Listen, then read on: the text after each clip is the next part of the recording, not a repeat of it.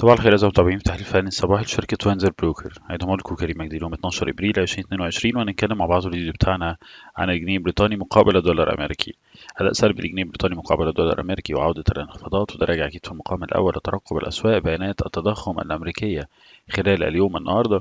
والمتوقع طبعا هي تيجي بشكل أفضل من الشهر الماضي مما سيزيد الضغوطات على الفدرالي الأمريكي رفع الفايدة بشكل أكبر خلال اجتماع مايو المقبل. دي كانت أهم الأخبار المؤثره في الأسواق. خلينا نشوف مع حضراتكم البيانات المنتظرة خلال اليوم.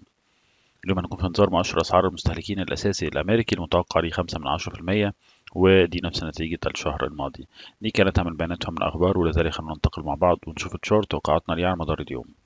زي ما واضح معانا على الشارت الأداء السلبي والانخفاضات والأداء السلبي طبعا على مستوى كل المؤشرات. أداء سلبي على ال EMA على ال SAR على ال stochastic على ال flat trend تقاطع المتوسطات سعرها الأسفل ثبات سعر اسفلهم وثبات اسفل النقطة المحورية ال 30 40 ولذلك نتوقع مزيد من الانخفاضات ولكن بشرط كسر 29 95 علشان يروح لل 50 وراها 29 فلات.